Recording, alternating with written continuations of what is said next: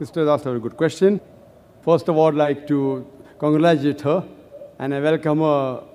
And as she says, she's reborn. The right word in Islam is revert.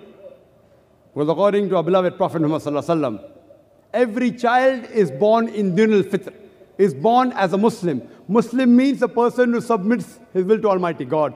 Every human being, initially, when he's born, he submits his will to Almighty God. Later on, the Prophet said that he's influenced by the parents, by the elders, by the teachers. Then he may become a fire worshipper, may go on the wrong track. So, therefore, when a person comes back to the original faith, to Din al Fitr, the right word is not convert, not reborn, it is revert.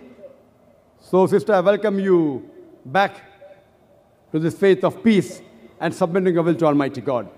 As far as question is concerned, that you have heard the lectures and you agree with the points, you have read about Islam, but your one objection is that Muslims, or most of the Muslims according to you, they are not following the teachings. What is the solution? Sister, I do agree with you. I do agree with you that many don't follow. But according to statistics, the religion, which is the maximum followed, I'm not talking in numbers. If you count the heads, those who profess a religion, number one would be Christianity, somewhere close to 2 billion. Islam, 1.3 billion to 1.4 billion. But the percentage which practices and follows the religion, maximum is Islam, number one maximum.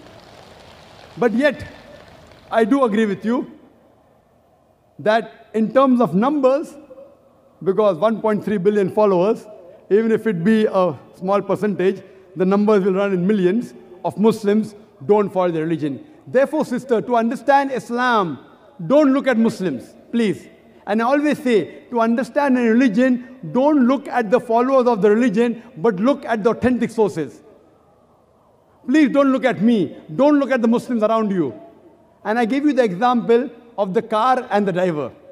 If you want to know how good the car is, and if a person who does not know how to drive sits behind the steering wheel and he has an accident, he bangs up the car, who will you blame, the car or the driver?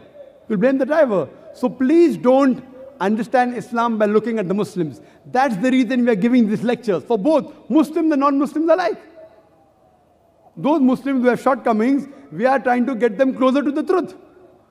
Because they may be namesake Muslims, we are trying to make them practicing Muslim. At the same time, we are delivering the message of Islam to the non-Muslims also, so that you understand this religion. And though you were born, you were born in a Jain family, and you had non-Muslim around you, you're married to a Muslim, but today, maybe after hearing the lecture, and after learning about Islam, you have come back to the faith. And as you said that previously, maybe only for the sake of name, you may have adopted the surname Ansari. But today, you have come back to this true faith. And we congratulate. And please, sister, if you want to look at a Muslim to understand Islam, the best example is the last and final messenger, Prophet Muhammad, peace be upon him. This book, the Quran, and the sayings of the Prophet have the solution for the problems of humanity. Don't look at the Muslims. Some Muslims may be close to Islam, some may be far away from Islam. So look at the main source, understand it, follow it. Inshallah, you'll get peace in this world as well as the